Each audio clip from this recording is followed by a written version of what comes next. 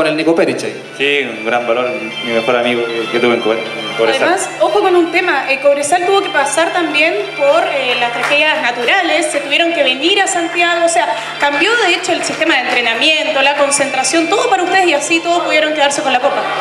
Sí, sin duda que, que fue bueno, eh, pero Por favor, concentrémonos acá, ¿le parece?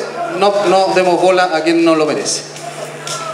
Ya, ahora sí, a todos, todos miren para acá. Ya, ahora. es que se me fue la pregunta.